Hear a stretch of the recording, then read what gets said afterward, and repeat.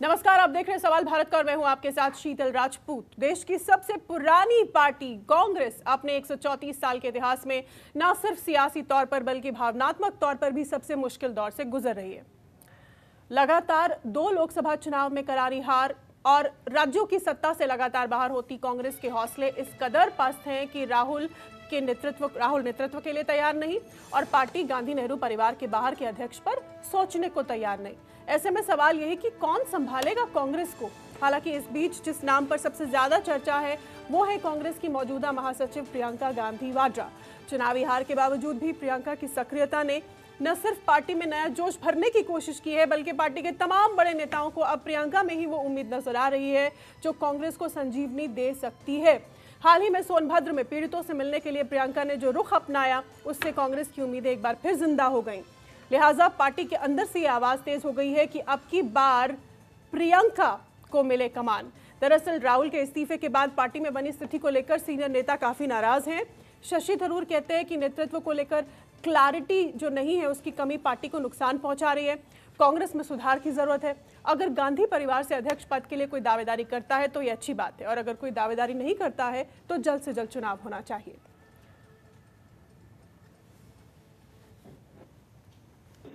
देखिए नेचुरली क्योंकि कई एम और कई आ, मेरी पार्टी कॉलीग्स मुझसे मिलके बात कर रही हैं कि वो लोग बहुत असंतुष्ट है बहुत निराशा है बहुत दुख भी है कि ये दो महीने से हमारी पार्टी एक वैक्यूम पे चल रहा है। वैक्यूम का मतलब यह है कि कुछ कुछ तय भी नहीं हुआ है कोई निश्चय नहीं हुआ और इसकी वजह से गोवा में हमारे विपक्ष के नेता खुद चले गए कर्नाटक में जो कुछ आप लोग देखे हैं और हम हमारे तरफ़ से जवाब देना एक्शन लेना आ, मतलब मज़बूत रहना कोई अध्यक्ष नहीं रहा। हम चाहते हैं कि तुरंत किसी को भी आप अपॉइंट कीजिए इंटरम अध्यक्ष मतलब अभी के लिए।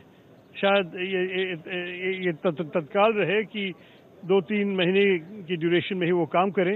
इसी समय आप एक चुनाव की प्रोसेस चलाइए और इस चुनाव में ऐसा होना चाहिए कि कोई भी अपना नाम दे सके और पार्टी तय करें।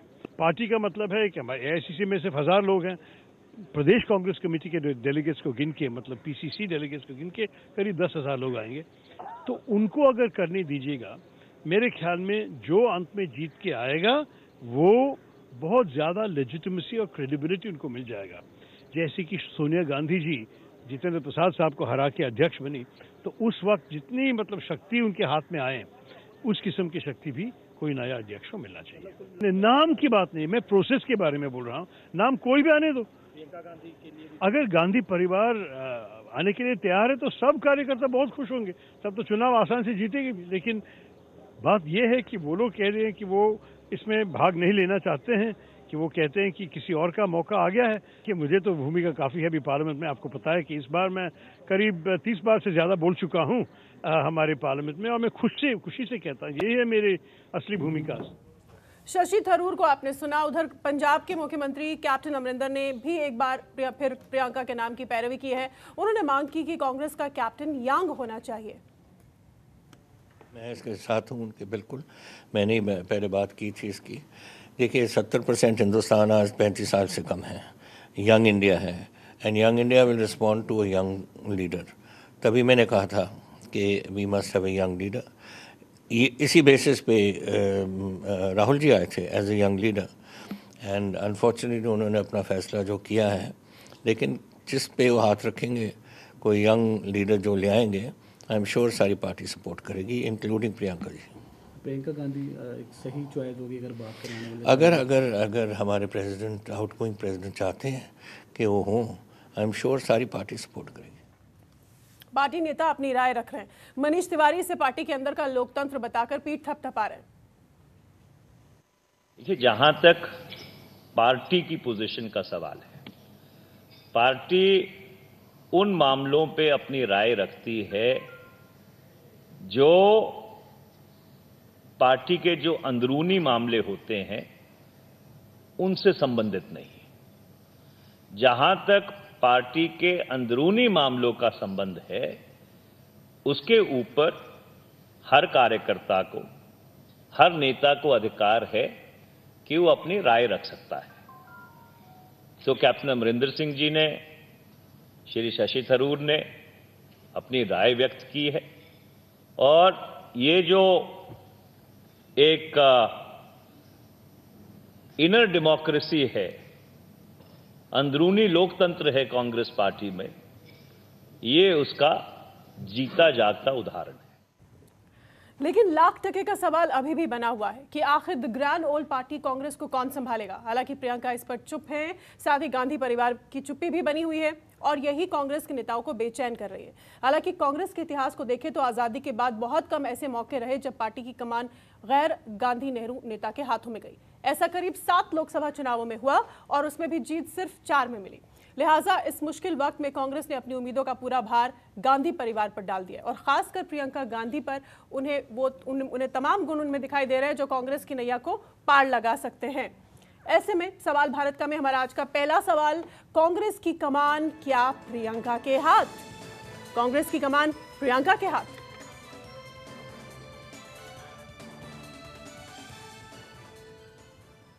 एक तरफ़ कांग्रेस में अटकलों का बाज़ार गर्म है तो वही कुछ ऐसा ही हाल जम्मू कश्मीर में भी दिख रहा है, जब से केंद्र ने कश्मीर में अतिरिक्त सुरक्षा बलों की तैनाती का ऐलान किया है। वहाँ न सिर्फ़ सियासत गर्म है, बल्कि कई तरह की आशंकाएँ, अफवाहें अपनी जगह बना रही हैं। दरअसल, मोदी सरकार के कश्मीर में अतिरिक्त सुरक्षा बलों की तैनाती के फैसले के बाद राज्य को विशेष अधिकार देने वाले आर्टिकल 35 ए को हटाने की सुगबुगाहट तेज हो गई है। हालाँकि सरकार ने इस पर कोई बयान नहीं दिया।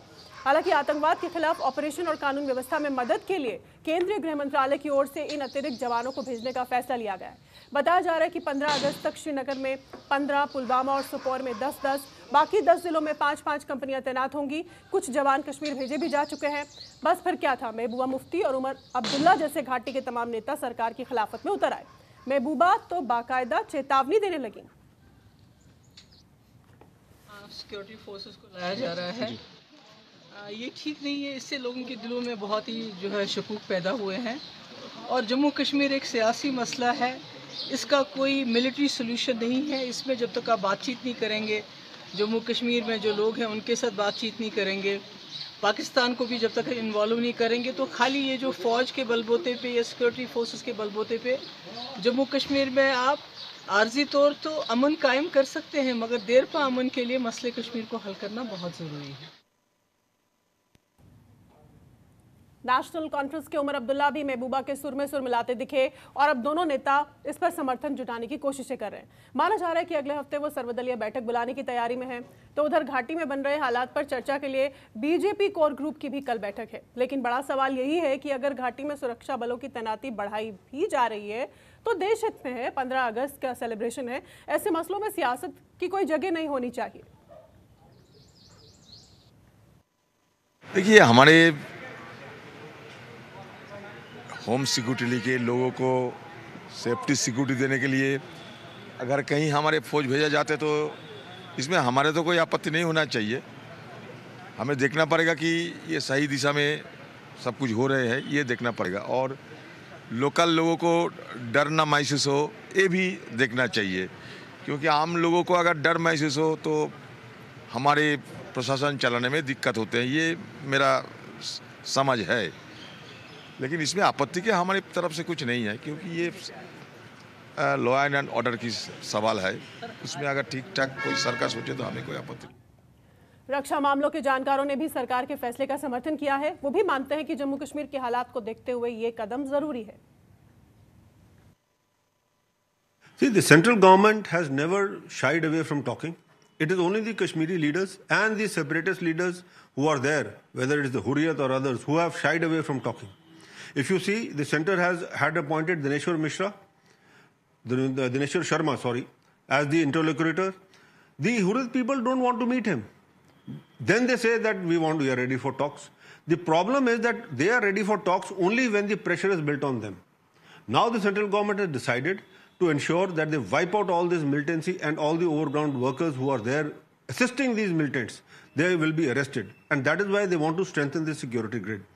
This 100 companies that are going to come in, they are going to be deployed specifically in South Kashmir because South Kashmir, only two districts are left in the entire Kashmir Valley. North, East and West is already free of militancy and these two districts that are there, they require the cleaning up and these companies are going to help in that. So there is no question of trying to solve Kashmir problem militarily. These people always see the decisions of the central government with a jaundiced eye. It is high time they should advise Imran Khan, the Prime Minister of Pakistan, that he should stop the LOC violations, he should stop shelling the uh, civilian population, and he should stop selling, sending in the terrorists into India. And there, then we can have talks and we can also solve this problem. तो हमारे नेता इस बात को क्यों नहीं समझ पा रहे? अपनी सियासत चमकाने के लिए क्या देश की सुरक्षा को भी पीछे किया जा सकता है? उससे भी समझौता किया जा सकता है। ऐसे में सवाल भारत का आज का दूसरा सवाल हमारा है, कश्मीर में अतिरिक्त सुरक्षा बल पर महबूबा उमर को क्या परेशानी?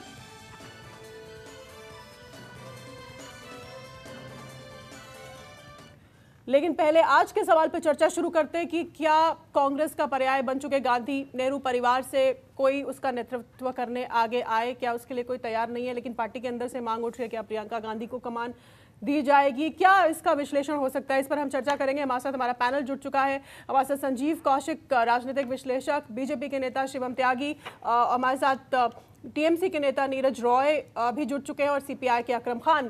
पॉलिटिकल डिस्कशन इस पर हम करेंगे, कश्मीर पर भी बात करेंगे, लेकिन फ़िलहाल एक छोटा सा ब्रेक लेंगे। आप देखते रहिए सवाल भारत का।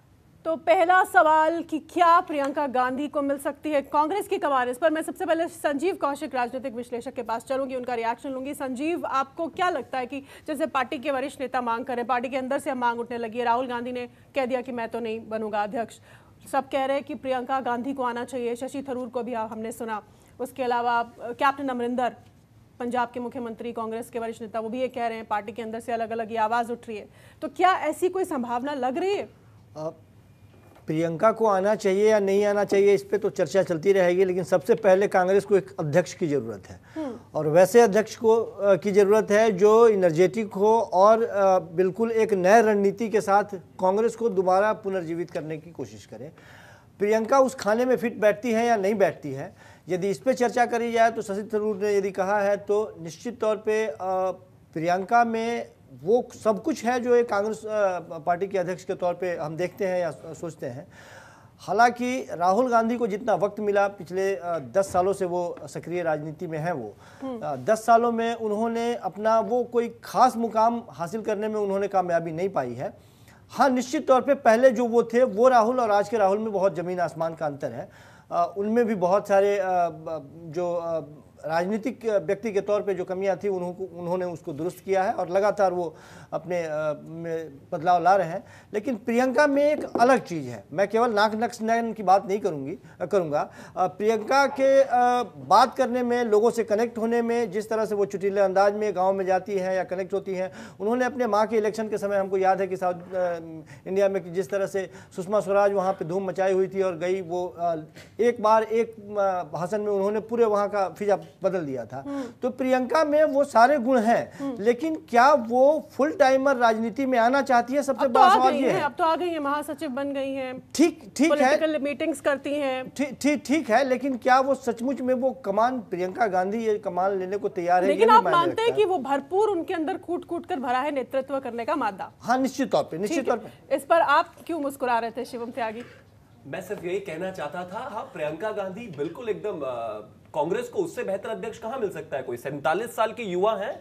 मेरा ख्याल योगी आदित्यनाथ जी तेईस फोर्टी थ्री ईयर्स के हैं। उनके नाम के आगे कभी आपने युवा शायद सुना नहीं होगा। उनचास साल के राहुल गांधी आज भी इस देश में युवा हैं। सचिन तेंदुलकर बयालीस साल में रिटायरमेंट लेकर घर पर बैठ गए, अपना पूरा करियर लेके आज तक युवा बने हुए हैं। खैर वो एक दूसरी बात है।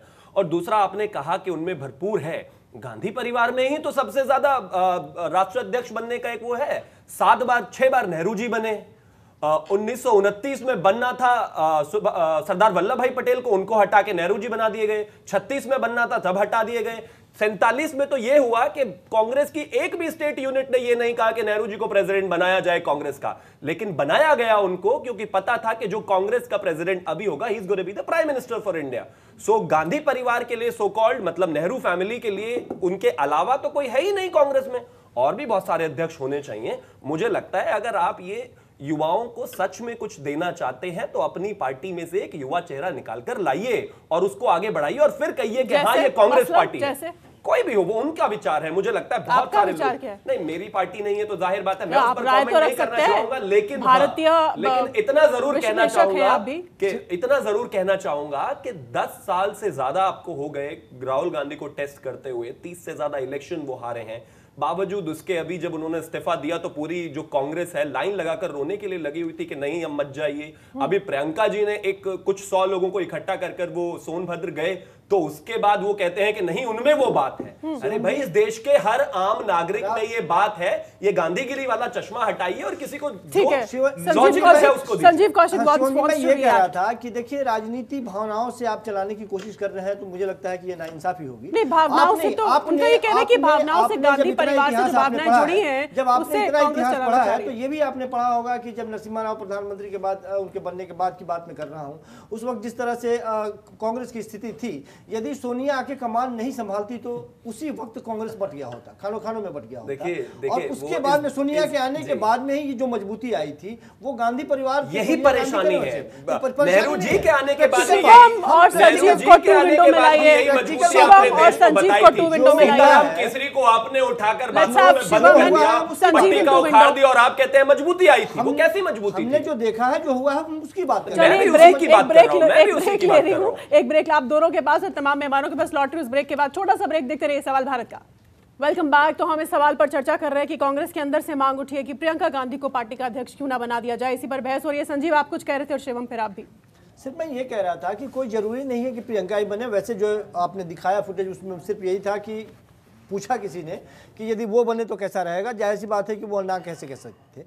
तो प्रियंका में लेकिन यदि बात की जाए प्रियंका गांधी की तो निश्चित तौर पे प्रियंका और राहुल में ज़मीन आसमान का अंतर है। प्रियंका को यदि मौका मिलता है वो बेहतर साबित होगी। लेकिन फ़िलहाल मैंने जैसा शुरुआती दौर में लेकिन आपके पास मैंने- इसका प्रूफ क्या है? मैंने शुरुआती दो 2009 में जब नए राहुल गांधी आए थे और सिर्फ़ हाथ हिलाकर पब्लिक को अभिवादन स्वीकार करते थे तो इस पूरे देश ने माना था इस बात को कि Rahul Gandhi is a young lad इस देश के साथ बहुत अच्छा करने वाले हैं is decisive he is good सबने माना और उस पर मैंडेट दिया। लेकिन उसके बाद क्या हुआ? जैसे ही मीडिया में एक्सपोज हुए सबको सामने आ गया सच्चाई क्या है। तो अभी तक लिमिटेड अपीयरेंस है प्रियंका गांधी की सैंतालीस साल की उम्र तक और आप उम्मीद कर रहे हैं कि इंदिरा गांधी। वो अपने अध्यक्ष पद के चुनाव के लिए आपसे राय मशवरा करेंगे मैं क्या कहता हूँ? बिल्कुल नहीं करिए लेकिन और आप जो इस देश के समान नागरिक होने के नाते मेरा अधिकार है कि मैं उस पर अपना कमेंट अपनी नहीं नहीं कमेंट कीजिए आप लेकिन मैं सिर्फ़ यही कह रहा हूँ कि यदि प्रियंका भी बने तो कोई ऐतराज नहीं है। वैसे हमारे लिए तो फ़ायदा ही है। दस दस मैं क्या कहता हूँ? दस साल तक राहुल गांधी से फ़ायदा हुआ प्रियंका गांधी बिकॉज़ ज़ाहिर बात है जब आप एक बार राजनीतिक जीवन में आते हो तो आपकी नाक कैसी है आपकी आँख कैसा आपका हेयर स्टाइल कैसा ये शायद बहुत ज़्यादा ज़रूरी नहीं है।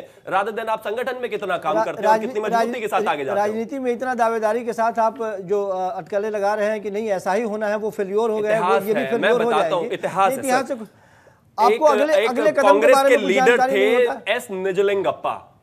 उन्होंने नेहरू जी के बारे में कहा था कि एक हज़ार नेहरू भी अगर बन जाएँ तो भी सरदार वल्लभ भाई पटेल जैसा काम नहीं कर सकते 500 रियासतों को एक जगह मिलाना। बावजूद इस देश के पहले प्रधानमंत्री नेहरू बने ना बने ना। नेहरू ने लास्ट लास्ट नेहरू ने जो देश को दिया है, जो सरदार वल्लभ भाई पटेल ने किया वो नेहरू का भी नहीं कर सकते थे नेहरू लेकिन ने आपने सुना देश को क्या? दिया है, नहीं सुना। आपको पता है और ने बता दिया है देश को? 1928 जब आप इतिहास ही पढ़ रहे हैं तो पता है इतिहास नहीं पढ़ रहा हूँ? मैं सिर्फ़ इतना कहना आप जिस पे आप गर्व कर रहे हैं, इतिहास वो को देखकर ही तो आगे का फ्यूचर प्रेजेंट करेंगे ना। आज जो जैसा आप लोगों ने पूर्व में किया है ऐसा ही आप अब करने वाले हैं। और ये स्टेज मैनेज प्रोग्राम है प्रियंका गांधी ही राष्ट्रीय अध्यक्ष बनने वाली है ये अच्छा, चलिए है। की चलिए ठीक है ठीक है ठीक है मैं और मेहमान भी उनके पास चलती हूँ मैं चलती हूँ नीरज रॉय के पास टीएमसी के नेता हमारे साथ जुड़े हुए हैं। नीरज रॉय प्रियंका गांधी कांग्रेस की अध्यक्ष बने पार्टी के अंदर से ये मांग उठ रही है। प्रियंका को काफ़ी सक्रियता से हमने देखा भी है। आप as an opposition politician TMC के नेता के तौर पर आप आपकी राय क्या है? ठीक है उनकी पार्टी का अपना मामला है लेकिन फिर भी आपकी राय क्या है इस मामले को लेकर? देखिए शीतल जी वास्तविकता यह है कि यह कांग्रेस का अपना इंटरनल मामला मैं है कह चुकी हूँ, वो उस मैं पे कह बहुत ज़्यादा बोलना भी ज़रूरी नहीं चुकी है। लेकिन ले- आपकी राय जानना लेकिन हूँ। लेकिन वास्तविकता जी अ, मैं राय मैं राय मैं राय जानना चाह बता रहा हूँ अपनी। हाँ। यह है कि कांग्रेस में एक बाहर का अध्यक्ष होना चाहिए गांधी परिवार से बाहर का। लेकिन मैं शिवम त्यागी जी को भी सुन रहा था जो कि बार बार उस पर आरोप प्रत्यारोप। वास्तविकता तो यह है कि कांग्रेस और बीजेपी आज के समय में दोनों एक दूसरे की पूरक हो चुकी हैं। इन लोगों में एक डील हो चुकी है कि कभी हम बढ़ेंगे तो कभी आप घटो कभी आप बढ़ो तो हम घटे। एक कहावत है उत्तर तो प्रदेश देश में के चोर चोर मुसेरे भाई आपकी भी मजबूरी है क्योंकि आप भी दीदी से आगे नहीं सोच सकते। तो कहीं ना कहीं आप एक दूसरे के लिए चोर चोर जायज़ भाई नहीं शिवम त्यागी जी। चोर चोर मौसेरे भाई नहीं जितने चोर हैं आज आपके बार भारतीय जनता पार्टी के सिरमौर बने पड़े हुए वो हैं। तो 2019 चोर चोर मौसेरे नहीं सभी के भारतीय जनता पार्टी में चले गए हैं। इतिहास की सबसे बड़ी वो जनता ने नहीं दिखाया जनता ने नहीं दिखाया। भारतीय जनता पार्टी के तानाशाही और हैकिंग की व्यवस्था जो थी उसने किया ब्लैक मनी ने कर दिया। अच्छा तो जनता मतलब ने नहीं दिखाया रहे हैं कि जनता के तो आँख पे आप ये कहना चाहते हैं कि इस देश के वोटर को खरीदा जा सकता है वोट बिकाऊ है। अरे भाई आप पाकिस्तान में नहीं रहते आप हिंदुस्तान में रहते हैं। खरीदने का वोटर को खरीदने का काम ने उसके भावनाओं को का फैसला ले उसके सकता है। भावनाओं को आप लोग छलने का काम ले सकता है उसे भड़काने का काम नहीं वोटर को है, खरीदने नहीं। आप लोग यहाँ बड़ी बड़ी मुंडियों को खरीद लिए हैं। ब्लैक मनी का आप लोगों ने दुरुपयोग तो किया है पे। आप कह रहे हैं कि नोटबंदी का आप लोग कह रहे हैं देश की जनता बिकी हुई थी। किया है। आप कह रहे हैं कि पश्चिम बंगाल की जनता बिकी हुई थी। पश्चिम बंगाल यहाँ पे बात देश की बिकी हो हुई रही है। बात यहाँ पे तो देश पश्चिम बंगाल से है बंगाल सबसे से बाहर ज़्यादा सीटें मिली है पश्चिम बंगाल में हमारी लास्ट बंगाल परफॉर्मेंस सबसे बेहतर रही है। बात करिए। देखिए यहाँ पर आप लोगों ने सरकारी मशीनरी का है दुरुपयोग किया है। जो ये घमंड है आने वाले इलेक्शन में यही आपको हराएगा और चिंता मत कीजिए। जिस तरह से आप हर बार जनता के विवेक को ऐसे ही नकार देते हैं। कुछ साल और ऐसे ही नकारते रहिए आप भी नकार दिए जाएँगे बिल्कुल साफ़ हो जाएँगे देखना नहीं है जनता दिखा रही है जनता ने दिखाया है रही 2019 में, दिखाया ना। तो आपकी भारतीय जनता पार्टी नकारी जा रही है कहा ने दिखाया नहीं कहा नकारी जा रही है? आप बताइए ना, कहा नकारी जा रही है? कहा नकारी जा रही है? सरकारी मशीनरी सरकारी मशीनरी का दुरुपयोग किया है आप लोगों ने। यह कैसे कह सकते हैं कि ये जो आपकी जुमलेबाजी है ये जो आपकी जुमलेबाजी है ये 2014 के इलेक्शन से पहले से शुरू हुई। जुमलेबाजी नहीं है। 2014 में भी जनता ने नहीं माना और तो मोदी 2019 में भी नहीं माना। तो ये जो आपकी राजनीतिक जुमलेबाजी है ये चलने वाली नहीं है। मुझे लगता है अगर आपके पास अब कुछ नया तो है तो उसको लेकर आइए क्योंकि इस मुद्दे पर दो बार आप बुरी तरह से हार चुके हैं। नहीं इस मुद्दे पर नहीं। चलो ठीक है ठीक है दूसरी राय लेते हैं। की और कांग्रेस की ओके ओके एक और राय लेते हैं। अकरम खान हमारे पास सीपीआई के नेता भी जुड़े हुए हैं। सीपीआई के नेता अकरम खान।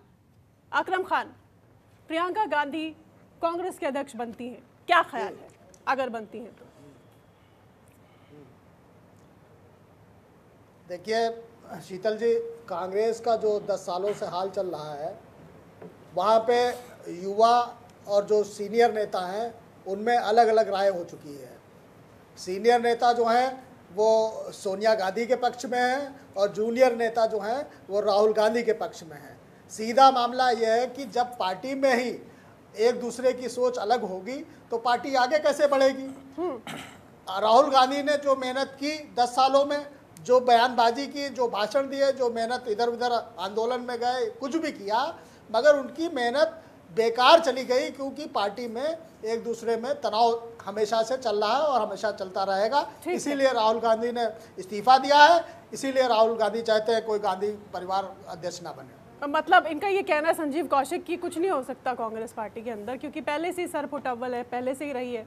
राहुल गांधी भी इसी वजह से नाकामयाब हुए। जी हमसे। हाँ, संजीव जो सच्चाई है वो यही है। ठीक है, संजीव कौशिक। बहुत ज़्यादा ओके ओके ओके है। नहीं, देखिए, कांग्रेस की स्थिति हम जो यहाँ बैठ के आकलन कर रहे हैं, हकीकत ये है कि कांग्रेस अभी समाप्त नहीं हुई है। कांग्रेस में दोबारा एक बार कांग्रेस को खड़ा करने की ज़रूरत है। और यही कोशिश जारी है। राहुल गांधी ने तमाम तरह से कोशिश की, लेकिन पिछले इलेक्शन की बात कर लें या उससे पहले वाले इलेक्शन की बात कर लें, लोग यहाँ ये कह रहे हैं कि प्रधानमंत्री को बड़े बहु- प्रचंड बहुमत से यदि लोगों ने जनमत दिया है और वो दोबारा सत्ता में काबिज हुए हैं। तो मेरा मानना यह है कि जिस तरह से ईमानदारी की बात करें, दो 2009 के आसपास में जब दोबारा कांग्रेस सरकार में आई थी उस वक्त देश में कांग्रेस के अलावा कोई विकल्प दिखाई नहीं दे रहा था। जो विपक्ष के तौर पे जिसमें देखा जा रहा था आडवाणी जी थे वो बड़े मजबूती के साथ खड़े नहीं थे। वही स्थिति इस बार भी कांग्रेस अब विपक्ष में है और सामने सत्ता में भारतीय जनता पार्टी थी। विपक्ष में कोई मज़बूत नहीं दिख रहा था इसलिए दोबारा भारतीय जनता पार्टी सत्ता में आई। अब कांग्रेस कैसे अपने आप में बदलाव लाओ निश्चित तौर पे आज के परिप्रेक्ष्य में कांग्रेस को अब अपने आप में ये देखना होगा कि पहले वाली बात आज के वक्त में नहीं है। एक मज़बूत, ठोस, रणनीतिकार, एक ब्रांडिंग करने वाले लोग यहाँ बैठे हुए हैं। चतुर सुजान लोग बैठे हुए हैं। किसी तरह से कहीं कोई कमी नहीं है। जो चीज़ें शुरुआती दौर में कांग्रेस के लिए मजबूती थी वो सारी मजबूती अब धीरे धीरे शिफ्ट हो गई है भारतीय जनता पार्टी में। कैसे वो दोबारा इस मुद्दे को अपने पाले में लाते हैं और किस तरह से वो अपने आप को तन के खड़ा करते हैं ये कांग्रेस के लिए चुनौती है इसमें कहीं कोई दो मत नहीं है। ठीक है शिवम नहीं मैं सिर्फ़ दस सेकंड लेना चाहूँगा कांग्रेस के लिए बिल्कुल चुनौती नहीं है। कांग्रेस को अगर बदलना है तो उनके पास एक ही तरीका है। भारतीय जनता पार्टी ने सदस्यता अभियान चलाया हुआ है। सदस्यता ले लें और इधर आ जाए। इसी तरह से कांग्रेस बदल सकती है क्योंकि ये इसलिए सुझाव ये इसलिए सुझाव है ये इसलिए सुझाव ये इसलिए सुझाव है ये इसलिए सुझाव है आप परिवार से आगे बढ़ेंगे नहीं। ये कह रहा हूँ कि पचास साल के व्यक्ति को युवा बताएँगे सोच वही रखेंगे जहाँ आपके युवा चीफ मिनिस्टर हो सकते थे उनको बनाएँगे नहीं। प्रियंका गांधी जब इस पार्टी की महासचिव भी नहीं थी तब भी उनकी इन्वॉल्वमेंट मध्य प्रदेश और राजस्थान के चीफ मिनिस्टर चुनने में थी आप मानते हैं कि वो परिवारवाद से बाहर आएँगे कभी? बिल्कुल नहीं आएँगे प्रोग्राम है। आपकी गलतफहमी है। कांग्रेस बिल्कुल गलत मैं ये कह रहा हूँ मैं कहता हूँ मुक्त कांग्रेस के अगर लोगों को अपने नहीं कांग्रेस मुक्त हम बिल्कुल नहीं चाहते विपक्ष होना चाहिए लोग हैं जो बिल्कुल कांग्रेस मुक्त बिल्कुल नहीं चाहते सरकार चाहती है कि विपक्ष हो दिला रहे कांग्रेस को। बीजेपी सदस्यता इसलिए क्योंकि वो परिवारवाद से बाहर नहीं निकलते। आपको परिवारवाद परिवारवाद छोड़ना पड़ेगा युवाओं को मौका देना पड़ेगा। नीरज रॉय रिएक्ट करना चाह रहे थे नीरज रॉय आइए। जी। जी बोलिए शीतल जी। आप आप कुछ रिएक्ट करना चाह रहे थे जब शिवम कांग्रेस को बीजेपी की सदस्यता की बात कर रहे थे? जी सॉरी आप अभी रिएक्ट करना चाह रहे थे ना जब शिवम बात कर रहे थे कांग्रेस कांग्रेसी की कांग्रेसी बीजेपी की सदस्यता ले ले यही एक कांग्रेस के उद्धार का जी हाँ हाँ हाँ हाँ हाँ। रास्ता है। देखिए देखिए शिवम जी शिवम जी आज जित जी शिवम जी आज इतना बेहतरीन सलाह कांग्रेस को दे रहे हैं। शिवम जी ये न भूलें कि 2014 से अब तक की भारतीय जनता पार्टी देश के विभिन्न दलों को मिलाकर एक ऐसी विचारधारा बन गई है कि वो कभी भी छिन्न भिन्न हो सकते हैं। तो शिवम जी जिनके घर शीशे के होते हैं दूसरों के घरों तो- पे ईंट नहीं तो फेंकते हैं। आज जो संगठित भारतीय जनता पार्टी आपकी दिख रही है। जो संगठित भारतीय जनता तो पार्टी दिख रही है। दिल्ली नहीं नहीं सबका साथ सबका विकास नहीं है देश का विनाश है यह देश का विनाश है। आप लोगों के कार्यकाल तो में जहाँ जहाँ आप लोग शासित हैं 2019 आपका से शासन पहले चल रहा है वहाँ पे भ्रष्टाचार रेप थे। तमाम चीज़ें 2019 का जब इलेक्शन ज़्यादा से ज़्यादा हो तो चुकी है। पहले आप लोग रोज़गार की वृद्धि कराने की बात करें। कांग्रेस पे ध्यान देने की बजाय कांग्रेस पे ध्यान लगाने की तो बजाय रोज़गार की तो वृद्धि करिए। कांग्रेस पे ध्यान देने की बजाय रोज़गार बढ़ाने की बात करिए। किसानों को समृद्ध और खुशहाल बनाने की बात करिए आप लोग। और किसान महिलाओं को सुरक्षा दीजिए शिक्षा और चिकित्सा को आगे बढ़ाइए आप लोग दूसरों को राय देने की बजाय आप लोग देश के विकास में अपनी सरकार की भूमिका को विकास के I have to take a break I have to take a break I have to take a break छोटा सा ब्रेक ब्रेक के बाद दूसरे सवाल पर चर्चा करेंगे कि जम्मू कश्मीर को लेकर सरकार के मन में क्या है। छोटा सा ब्रेक देखते रहिए सवाल भारत का। वेलकम बैक सवाल भारत का में। अब वक्त है दूसरे सवाल का आज के। एक तरफ़ कांग्रेस में अटकलों का बाज़ार गर्म है प्रियंका गांधी को लेकर, जिस पर हमने डिबेट की। वहीं कुछ ऐसा ही हाल जम्मू कश्मीर को लेकर भी दिखाई दे रहा है, जब से केंद्र ने कश्मीर में अतिरिक्त सुरक्षा बलों की तैनाती का ऐलान किया है। सियासत वहाँ की गर्म है, कई तरह की अफवाहों ने अपनी जगह बना ली है। दरअसल मोदी सरकार के कश्मीर में दस हज़ार अतिरिक्त बल के तैनाती के फैसले के बाद राज्य को विशेष अधिकार देने वाले आर्टिकल 35 ए को हटाने की सुगबुगाहट तेज हो गई हालाँकि सरकार ने इस पर कोई बयान नहीं दिया, लेकिन जो स्थानीय नेता हैं, महबूबा मुफ्ती हैं पीडीपी की या नेशनल कॉन्फ्रेंस के उमर अब्दुल्ला है, वो इसको लेकर बेहद चिंतित हो गए हैं और एक सर्वदलीय बैठक भी बुला डाली है। इसी पर हम बहस करेंगे कश्मीर को लेकर आखिर चल क्या रहा है। शिवम त्यागी के पास चलती हूँ। हमारे साथ अनूप कौल भी जुड़ गए हैं कश्मीर मामलों के जानकार और कश्मीर मामलों के जानकार इनाम नबी भी जुड़ जाएँगे जल्द ही। शिवम, चल क्या रहा नबी भी जुड़ चुके हैं। शिवम, चल क्या रहा है? अतिरिक्त बल एनएसए वहाँ पर गए थे। उससे पहले अमित शाह जा चुके हैं और कश्मीर के जो लोकल नेता हैं, वो लगातार ये डर फैला रहे हैं कि पैंतीस ए को हटाने की बात हो रही है, ये हो रहा है, वो हो रहा है। देखिए अगर शुरुआत से देखें तो सबसे पहले इस देश की सरकार का जो फ़र्स्ट प्रायोरिटी है वो ये है कि इस देश में सुरक्षा इंटरनल सिक्योरिटी को लेके हमारे जो मेज़रमेंट मेजरमेंट्स हैं वो पहली सरकारों से थोड़े कड़े हैं। हाँ। तो उस चीज़ को देखते हुए हम ये सारी चीज़ें कर रहे हैं। अभी 15 अगस्त आने वाला है अमरनाथ यात्रा जारी है तो ज़ाहिर है उसको देखकर सुरक्षा चाक चौबंद होनी चाहिए उसका ये इंतज़ाम है। लेकिन अगर बात करें दूसरी पार्टीज़ की जो बार बहुत ज़्यादा हो हल्ला इस पर कर रहे हैं और वो कहते हैं कि 370 और 35 से हट नहीं सकता। बहरहाल ये कुछ पाकिस्तानी दलाल जो हैं इनको ये समझने की ज़रूरत है कि 35 ए और 370 को हटाने के लिए ही भारतीय जनता पार्टी को कश्मीर से इस तरह का मैंडेट मिला है। मैं बताता हूँ कैसे। 28 लाख का करीब वोटिंग हुआ है जम्मू एंड कश्मीर में अगर टोटल लगा लें। तीन सीटें हमने ली और तीन सीटें नेशनल कॉन्फ्रेंस ने। 2014 में भारतीय जनता पार्टी को करीब 50 परसेंट वोट मिला था जो 2019 में बढ़कर 60 परसेंट हो गया। भारतीय जनता पार्टी का मैनिफेस्टो कहता है सबसे पहले जम्मू एंड कश्मीर को लेके कि हम 35 से हटाएँगे 370 हटाएँगे। इसका मतलब क्या है?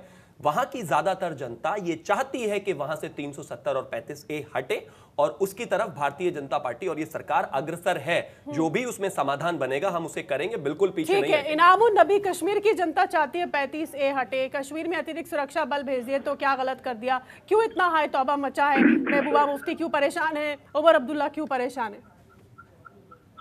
मैडम ये खाली उमर अब्दुल्ला और महबूबा मुफ्ती की बात नहीं है। पूरे जम्मू कश्मीर आवाम की बात है, उनका कंसर्न है। कोई नहीं चाहता कि जो उनको आईने हिंद की तरफ़ से स्पेशल स्टेटस दिया गया हो, उसके साथ कोई छेड़छाड़ हो। ये जो मेरे दोस्त कह रहे थे कि जो इसकी डिमांड करेंगे, वो पाकिस्तानी के दलाल है। जनाब, ये पाकिस्तान की तरफ़ से नहीं दिया हुआ है, बल्कि ये कॉन्स्टिट्यूशन ऑफ़ इंडिया ने जम्मू कश्मीर के लोगों को दिया हुआ है। ये न सिर्फ़ जम्मू कश्मीर के अवाम को ये स्टेटस हासिल है, बल्कि हमारे कुछ और भी स्टेट्स हैं कंट्री में, जिनके पास स्पेशल स्टेटस है। अभी जब आपको पता है कि स्टेट में अनारकी है स्टेट में एलिनेशन है, ऐसे टाइम इस चीज़ को टच करना, आप दोबारा जो स्टेट को है, उसको एनार्कल स्टेट में धकेल देना चाहते हैं। हम चाहते हैं कि अमन शांति हो इंसाफ हो और मसले की कश्मीर का हल निकले लेकिन हम नहीं चाहते हैं कि कोई ऐसी चीज़ हो जिससे लोगों की एलिनेशन बढ़ सके। ठीक है अब अनूप कॉल। आप सहमत हैं इनामुन नबी से? नहीं सहमत और असहमति की बात इस समय यहाँ पे नहीं है।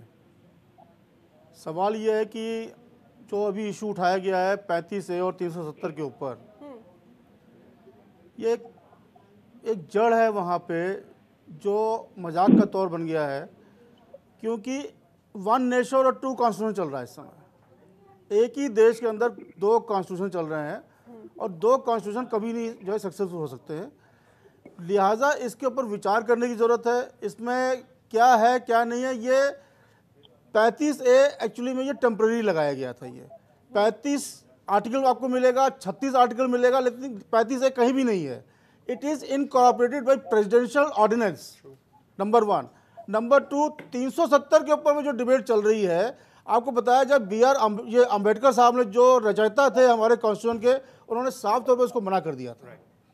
इसके बाद गोपाल स्वामी अयंगर जी को जो है ये दायित्व दिया गया था जवाहरलाल नेहरू जी की तरफ़ से कि इसको किसी तरह से जो है इनकॉर्पोरेट किया जाए। जो बाद में अल्टीमेटली उन्होंने इसको बनाया।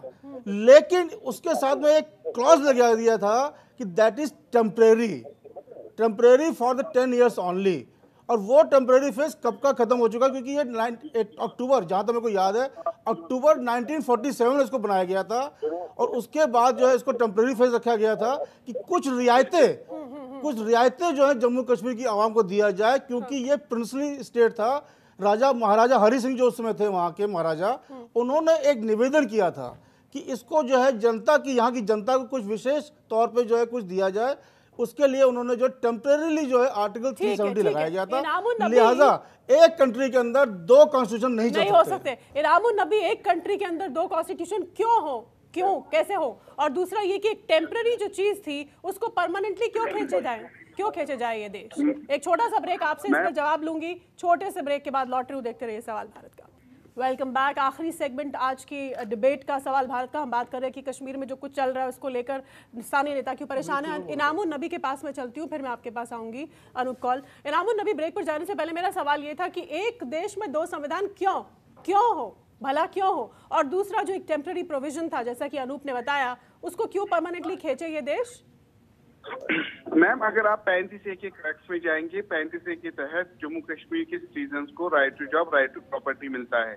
ये कोई चीज़, इसको पैंतीस ए शेप जो दी गई थी इंडिपेंडेंस के बाद दी गई, लेकिन अगर आप देखेंगे इसकी हिस्ट्री में जाएँगे 1889 में महाराजा ने जब डिसाइड किया कि ऑफिशियल लैंग्वेज चेंज की जाए और दो स्पीकिंग पीपल को लाना चाहिए उस वक्त ये डिसाइड कश्मीरी पंडितों ने ये उठाया था मुद्दा और जो जम्मू के डोगरा महासभा के लोग थे यंग डोगरा उन्होंने इस इशू को उठाकर ये तब महाराजा से रिक्वेस्ट की थी कि यहाँ पर राइट टू जॉब और right to property Jammu Kashmir के लोगों को देना चाहिए।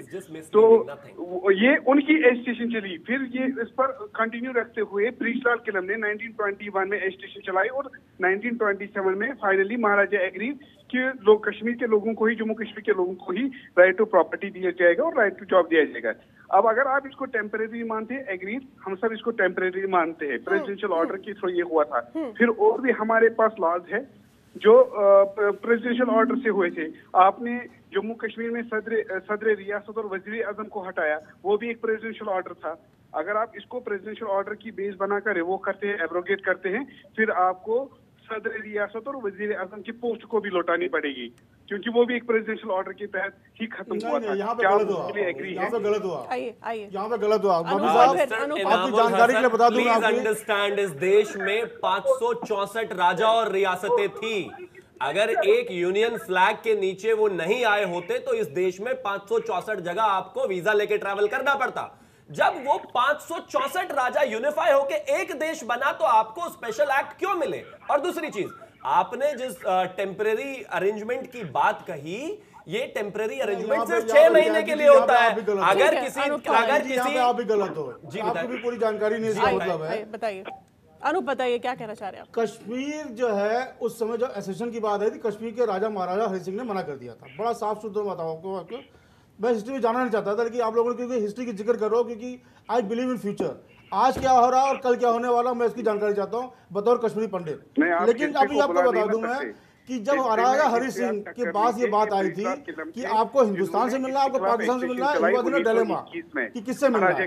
लिहाजा जब वहाँ पे बात आई कि भाई जब कबायलों के वहाँ पे अटैक हुआ था उसके बाद महाराजा हरि सिंह ने हिंदुस्तान से मिलना विलय करने का सोचा। sir, ये बात अलग है। दूसरी बात यही कह रहा हूँ दूसरी बात जो नबी साहब नबी साहब जो आपने उन्नीस सत्ताईस की बात कर रहे हो उन्नीस सत्ताईस के अंदर कुछ ऐसा नहीं था बाद इससे आज़ादी के बाद ये देख ये उन्नीस सैतालीस के आपने जो कहा आपने जो कहा उस जमाने में जो कायदे आज़म थे पाकिस्तान के उनका रिग्रेशन देखते हुए राजा हरि सिंह ने भारत भारत के साथ जाने के लिए कुछ टर्म्स पे अग्री किया हाँ, बेहतर समझा। जो कि एक टेम्परेरी छह महीने के फ़ेज़ के लिए एक कॉन्स्टिट्यूट किया गया। और जिस अय्यनगर की आप बात कर रहे हैं जिन्होंने ये लिखा कहने पर नेहरू जी के क्योंकि बाबा भीमराव अंबेडकर ने वो थ्री सेवेंटी लिखने के लिए मना कर दिया। वो जो अय्यनगर थे वो दीवान थे राजा हरि सिंह के उन्होंने ये लिखा। इस देश में जब इस देश इस देश में जब कभी भी इस देश में जब कभी भी सरकारें गिरती है या वहाँ पर प्रेसिडेंशियल रूल होता है तो हर छह महीने में रिन्यू होता है ना? हाँ। ये कॉन्ट्रैक्ट आज तक रिन्यू ही नहीं हुआ। तो फिर ये क्यों नहीं जाना चाहिए? जब इस इस पूरे देश में कोई राजा नहीं बचे तो आपको स्पेशल प्रोटेक्शन की ज़रूरत नहीं है। और दूसरी चीज़ अभी तो सिर्फ़ दस हज़ार ट्रूप्स भेजे हैं। अगर और दस हज़ार भी भेजने पड़े या बीस हज़ार तो ये केंद्र सरकार बिल्कुल भेजेगी क्योंकि ये एक देश है। मेरे पास मेरे पास सिर्फ़ कुछ सेकंड बचे। क्लोजिंग कमेंट नबी साहब एक चीज़ मैं आपको ऐड कर दूँ यहाँ पे। आपके थ्रू और चैनल के थ्रू मैं साथ में सरकार को भी चेतावनी देना चाहता हूँ साथ में कि असली हकदार कश्मीर के अंदर कश्मीरी पंडित है वो स्टेक होल्डर है।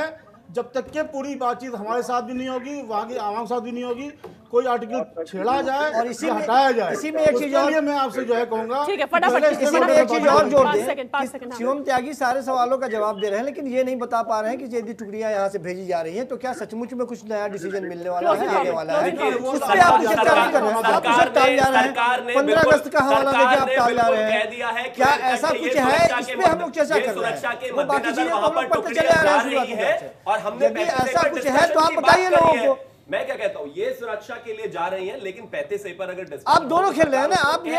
एक तरफ़ बोल रहे हैं सुरक्षा के लिए जा रहे हैं चलिए वक्त खत्म हो चुका है। का मुद्दा है ये। ये मुद्दा बड़ा व्यापक है कश्मीर का मुद्दा इस पर हम बहस करते रहते हैं लगातार आगे भी आने वाले दिनों में करते रहेंगे। फ़िलहाल आज इतना ही शिवम त्यागी संजीव कौशिक अनूप कौल इनाम नबी नीरज रॉय अक्रम खान आप सभी का हमारे साथ। सवाल भारत का में आज के लिए जुड़ने के लिए बहुत बहुत धन्यवाद। आपकी यानी हमारे व्यूवर्स की आज के हमारे दो सवालों पर राय क्या है, हमें ज़रूर ट्वीट कीजिए at Sheetal Rajput and at Jantantra TV पर। देखते रहिए जनतंत्र टीवी